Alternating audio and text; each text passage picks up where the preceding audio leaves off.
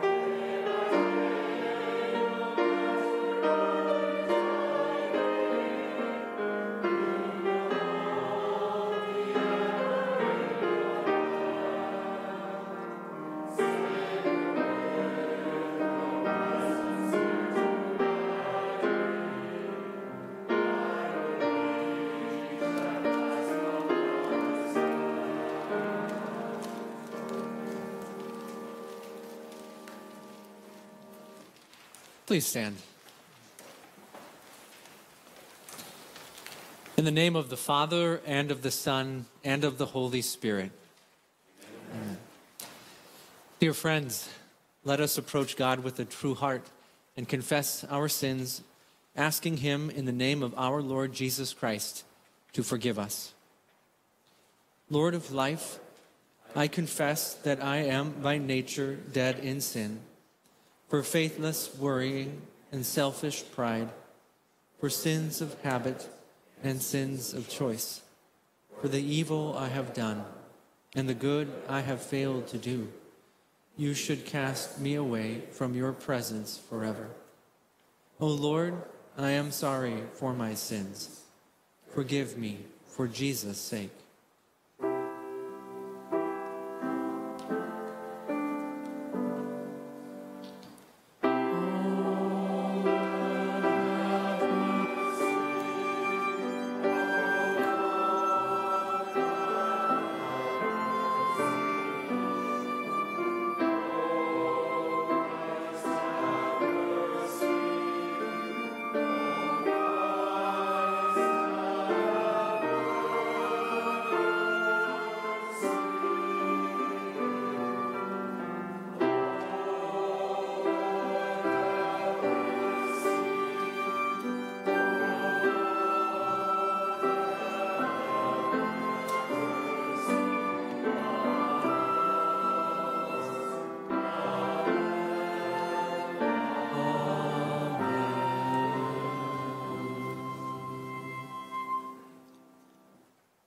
Christ has died, Christ is risen, Christ will come again.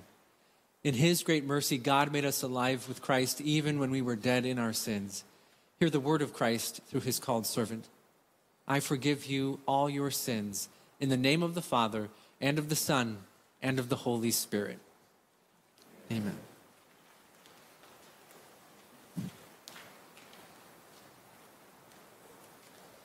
The Lord be with you. Let us pray.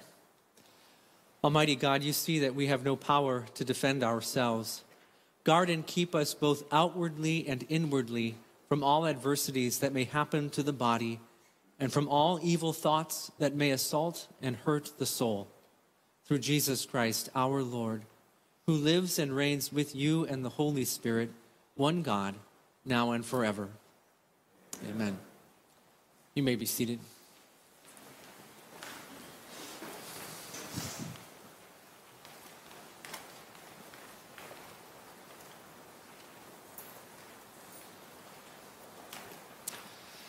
Jacob wrestles with God. These words will serve as the basis for the sermon this morning.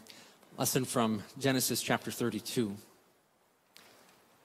The same night, he arose and took his two wives, his two female servants, and his eleven children, and crossed the ford of the Jabbok. He took them and sent them across the stream, and everything else that he had. And Jacob was left alone. And a man wrestled with him until the breaking of the day. When the man saw that he did not prevail against Jacob, he touched his hip socket, and Jacob's hip was put out of joint as he wrestled with him. Then he said, Let me go, for the day has broken. But Jacob said, I will not let you go unless you bless me. And he said, What is your name? And he said, Jacob. And he said, Your name shall no longer be called Jacob, but Israel. For you have striven with God and with men and have prevailed. Then Jacob asked him, Please tell me your name. But he said, Why is it that you ask my name? And there he blessed him. So Jacob called the name of the place Peniel, saying, For I have seen God face to face, and yet my life has been delivered. The sun rose upon him as he passed Penuel, limping because of his hip. Therefore, to this day, the people of Israel do not eat the sinew of the thigh that is on the hip socket, because he touched the socket of Jacob's hip on the sinew of the thigh. The word of the Lord. Lord.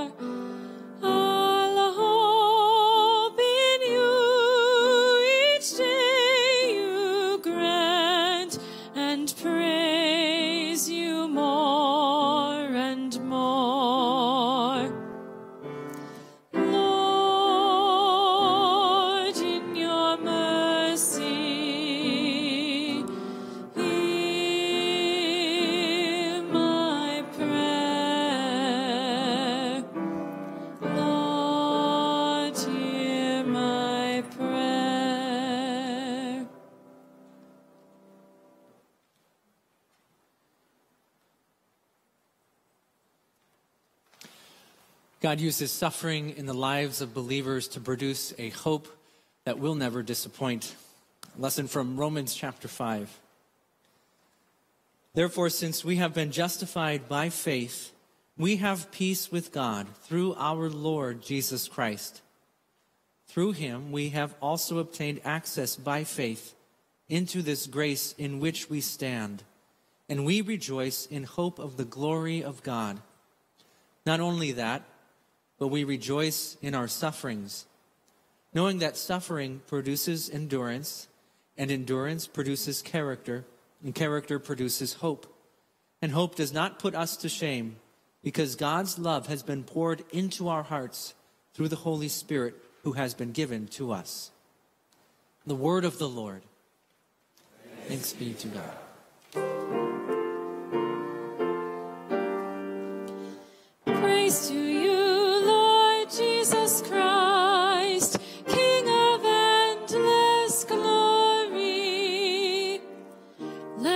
Fix our eyes on Jesus, the pioneer and perfecter of faith. Praise to you, Lord Jesus Christ, King of endless glory. Please stand. The Holy Gospel according to St. Matthew chapter 15.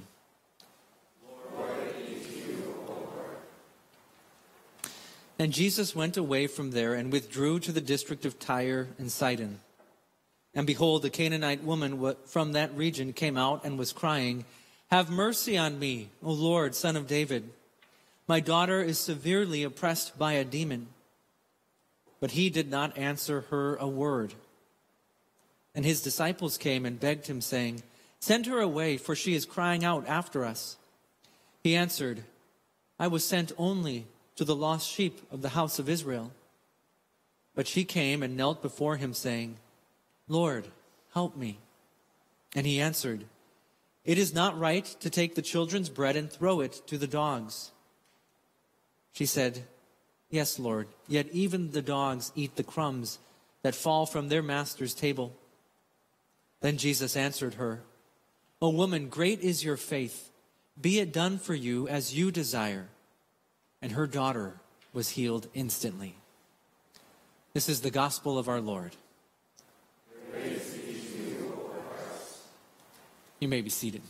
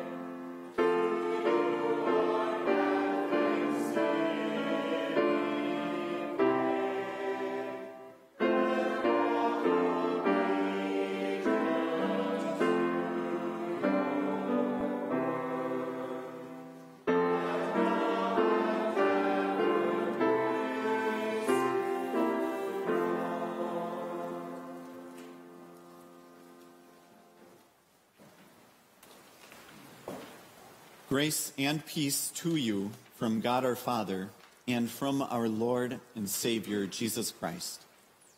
Amen. So, what do you do when you discover that God is your adversary? I don't mean the Lord doling out just punishment over you for your sins.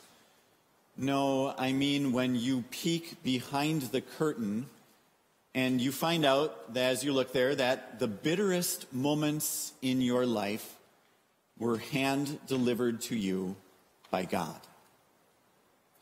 I recognize that this does not square well with the sanitized view we have of the world where anything that bad that happens is dumped upon the devil or evil people and where God stands as some sort of cosmic therapist and we are all just trying to discern the Lord's plans for our lives. Well, take a look at the account of Jacob wrestling with God and discern the Lord's will for Jacob. What was it? It was to attack him. And that at a moment when Jacob had been left all alone and there was no one else who would come and help him, and when Jacob was already scared out of his mind, sure that the next day would see the death if or carrying off of his family if not the spilling of his own blood upon the ground in a fresh fratricide that would be recorded in the books like a sequel to Cain and Abel. Jacob, in a word, was terrified. Let me refresh your memory as to how Jacob arrived at the ford of the Jabbok there where the Lord wrestled with him. Jacob you may recall, had a twin brother whose name was Esau. And even before these twins were born, they were at fisticuffs with one another. Scripture records how their mother cried out in pain because there was so much kicking and jostling inside her swollen, pregnant belly. And that pattern persisted when the twins were born. Everyone saw it clearly. There were Jacob's little infant fingers, tiny, wrapped around Esau's heel in a deathlock as if to pull Esau back into the womb so that Jacob could get ahead and Jacob could be first. Jacob spent much of the rest of his life trying to accomplish that thing. He grew up in a rather dysfunctional family where mom and dad both played favorites, where mom was happy to scheme and manipulate and, and even deceive dad. And she roped Jacob into the greatest deception of all when she had him pretend to be Esau and trick his poor blind father into blessing him, thinking that he was his brother. Well, naturally, this didn't sit well with Esau, but Esau was a sensible man and he knew how to clear up a mixed up blessing. It was really simple. He vowed to kill Jacob. And so Jacob had to leave his home and flee. And as he was fleeing, one night he laid his head down on a stone for a pillow. And you probably remember that that night he saw a vision. You remember the content of the vision, right? A ladder stretched from heaven to earth, the angels of God ascending and descending upon it. Today, though, I'd like you to recall and hold in your mind the content of the promise that the Lord spoke to Jacob that night. For in that vision, he said to Jacob, I am the Lord. I will be with you wherever you go, and I will bring you back to this place. That was the promise that God made to Jacob as he fled. Well, Jacob fled and he lived a few years with his uncle named Laban, who turned out to be an even better deceiver and trickster than Jacob himself. And when Jacob was finally fed up with that, he resolved to go home. And that's where our account picks up. Jacob, on his way home, Laban pursued him. Now he was drawing near to home, but home meant drawing near to Esau, his brother, who, for all Jacob knew, was still intent on getting his hands around Jacob's neck to wring it once and for all. So Jacob made plans. He divided his wives and children into two groups, hoping that at least one of them could escape. He sent them across the ford of the Jabbok until Jacob was left all alone to spend a sleepless night tossing and turning and wondering what was going to happen the next day when he finally came face to face with Esau. And it, it's at this moment that suddenly a mysterious, ambiguous figure emerges from the dark and attacks Jacob. Don't think that Jacob knew that this was the Lord. He probably thought it was an assassin that Esau had sent, or, or at least a highway robber who was out to make some quick cash. And so, as Jacob was there by himself on the other side of the river, all alone, he found himself that night literally fighting and clawing for his life. He had been attacked. And it seems to me that it's the ambiguities in life that are the real killer. When the attacks, so to speak, come, and it's not at all clear, we can't just pin it on some evil person or the devil's handiwork. So you have a young couple, recently married, and now they find out with great excitement that they are going to be welcoming a child into this world. But then a miscarriage, and all of those hopes are lost. They try to pull a thin veil across with self guilt. The mother to be grieving says, I shouldn't have eaten this or that. I shouldn't have taken that trip by airplane. But who are they really kidding? Hiding behind that curtain is the Lord, who, in his unfathomable way, has taken away from them a precious gift, a precious blessing. We talk about how things like depression and anxiety have the fingerprints of Satan all over them as he hounds and pushes people into the darkness to stare into the abyss, trying to get them to fall headlong into it. And that is all true, absolutely. But a woman who's overcome by anxiety so much so that some days she can't hardly even get herself out of bed and her friends have all grown tired of hearing about her problems. They just avoid her. She thinks, at least I still have the Lord, but, but in those moments when the feelings of anxiety are washing over her most strongly, and she cries out and she says, Lord, help, make it stop. There is just silence from heaven. Nothing happens, nothing changes. The prayers don't make the situation better. God has turned his face from her.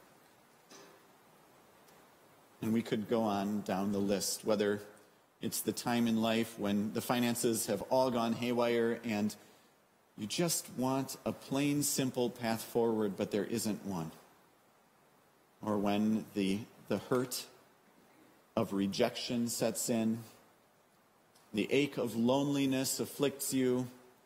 The stabbing wounds of a broken relationship or a broken home don't let up. The specter of illness haunts over you. And in those moments, there is a chilling discovery that you make. The Lord's will for my life is somehow this. Add insult to injury, and and prayer doesn't make the situation better. This is what happened to Jacob as the Lord came and attacked him. And, and Jacob wrestled, he fought back.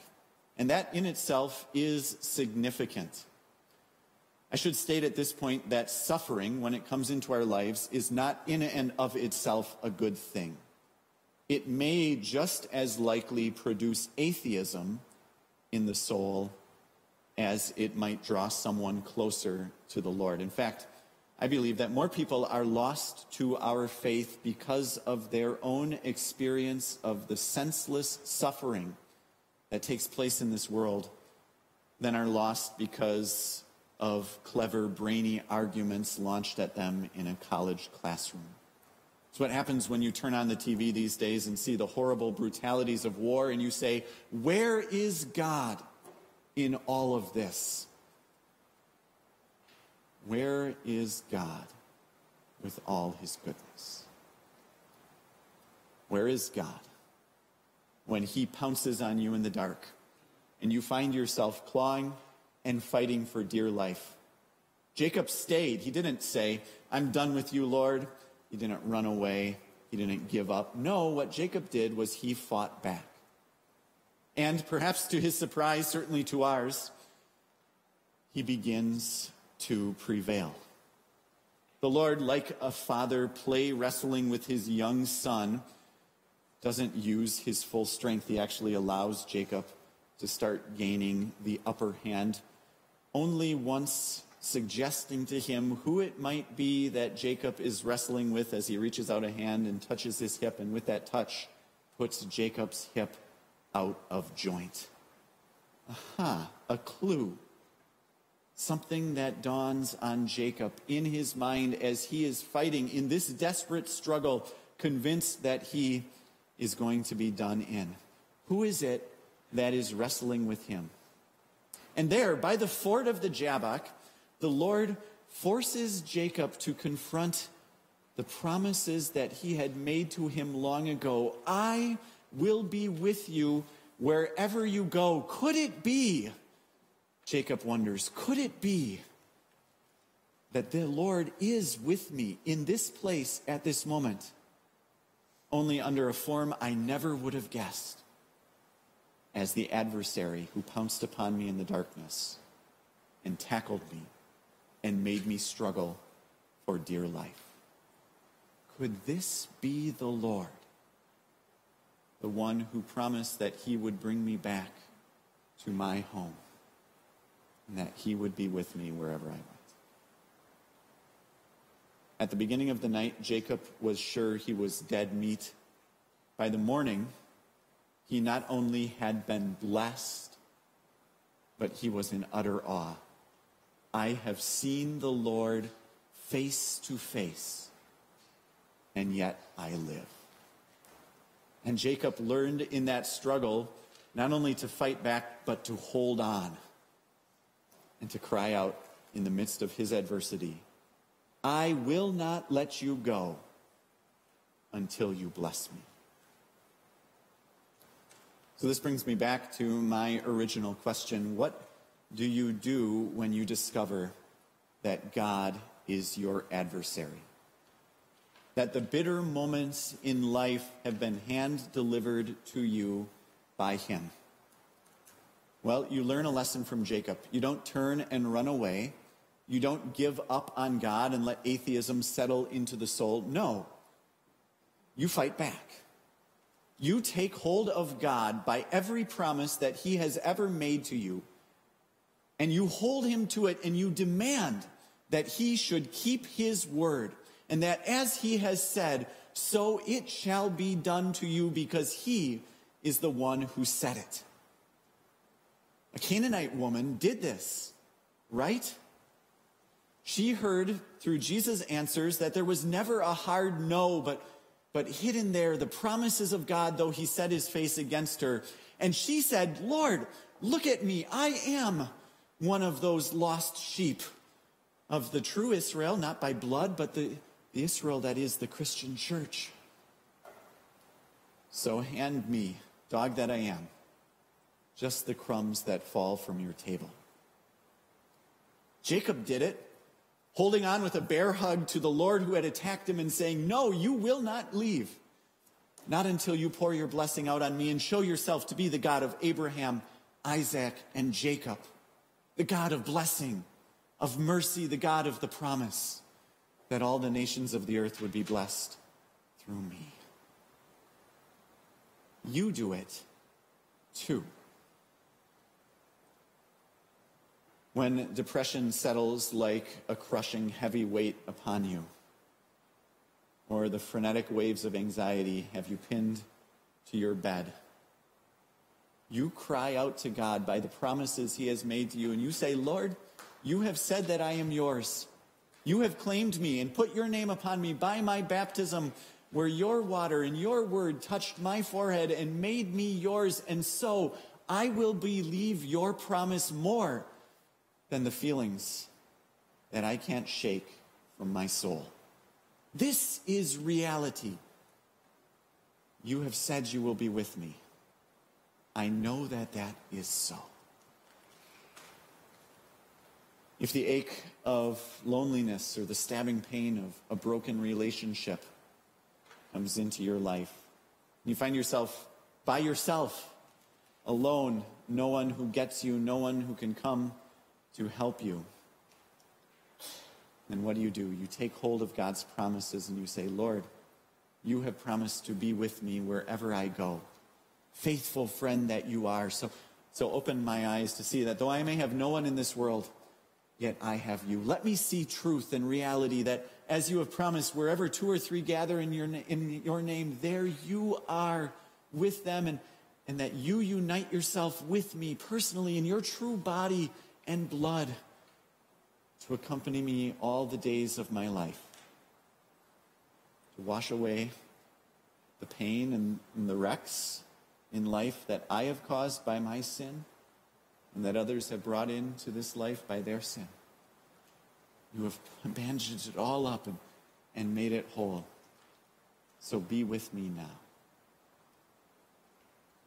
When the grave with its icy fingers starts to reach out and lay hold of one of your loved ones, or you find yourself facing that final sleep in the dust of death, what do you do? You take hold of the promises that God has made and you say to him, Though you may slay me, Lord, yet I will trust in you. And as you have promised that you are resurrection and life, as you have told me that with these eyes I will see you face to face, so though I die, you will fulfill your word, O Lord, and raise me from the dust of death, and open these eyes that close Open them again to see you face to face in your glory, so that I may walk in the land of the living. Lord, you have promised this. I will not let go of that promise. No, not until I see it for myself. Not until that day. Not until you keep your every promise. Friends, you know what I'm describing. And you know this that Jacob, after his struggle, walked away that day with a limp. A reminder in the pain that he felt in his hip that he wasn't going to face Esau by his own cleverness or strength, that he wasn't going to pick his way through this life on his own. No, that limp was the reminder that kept Jacob humble and his eyes fixed on the Lord the one who blesses. I have no doubt that you bear in your body, and if not in your body, then on your soul, the scars that are left over from some of the bitterest sufferings in your life. They are your godly limp, the thorn in your flesh, the reminder to you that everything depends on the promises of our God and of what you have discovered in those moments when he has set his face against you. Looking back on some of those bitter moments, don't you see that it was precisely then that the Lord drew closest to you and, and you learned more about his love than you had ever imagined before? That hiding behind his adversarial face is a heart that is all grace and mercy all the way through and all for you. We who follow God, we all walk with a limp, and we're better for it. Amen. Please stand. The peace of God, which surpasses all understanding, guard and keep your hearts and minds in Christ Jesus. Amen. We confess our Christian faith with the words of the Apostles' Creed. I believe in God, the Father Almighty, maker of heaven and earth. I believe in Jesus Christ, his only Son, our Lord, who was conceived by the Holy Spirit, born of the Virgin Mary, suffered under Pontius Pilate, was crucified, died, and was buried. He descended into hell. The third day he rose again from the dead. He ascended into heaven and is seated at the right hand of God the Father Almighty. From there he will come to judge the living and the dead. I believe in the Holy Spirit, the holy Christian church, the communion of saints, the forgiveness of sins, the resurrection of the body, and the life everlasting. Amen.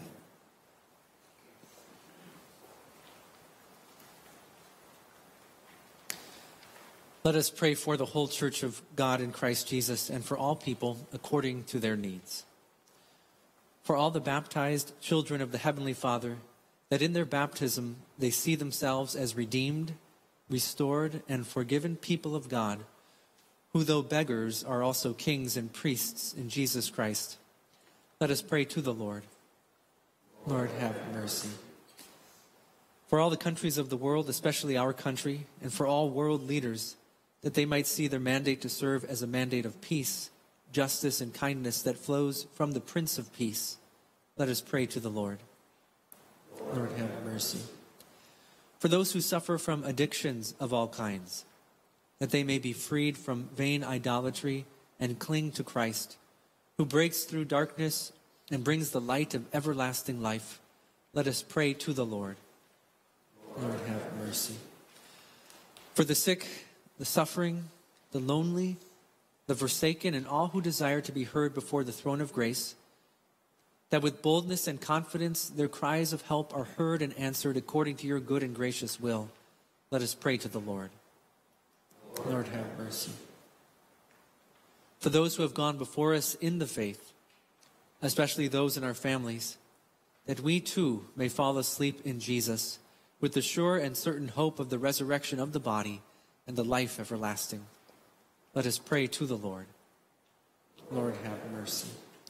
Into your hands, O Lord, we commend all for whom we pray, trusting in your mercy through Jesus Christ, your Son, our Lord.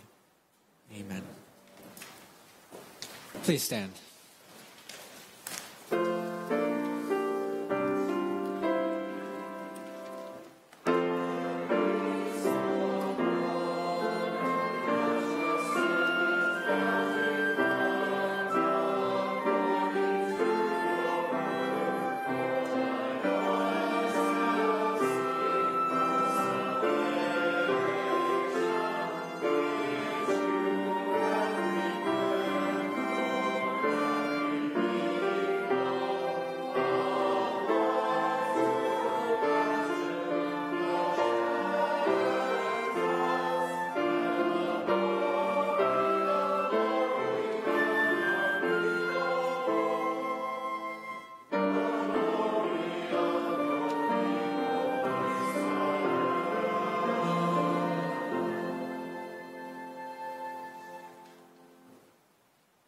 We give you thanks, O Lord, for the foretaste of the heavenly banquet that you have given us to eat and to drink in this sacrament. Through this gift, you have fed our faith, nourished our hope, and strengthened our love.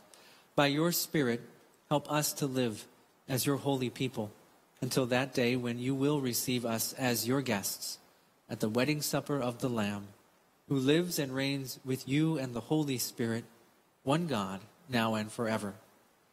Amen. The Lord bless you and keep you. The Lord make his face shine on you and be gracious to you. The Lord look on you with favor and give you peace. Amen. You may be seated.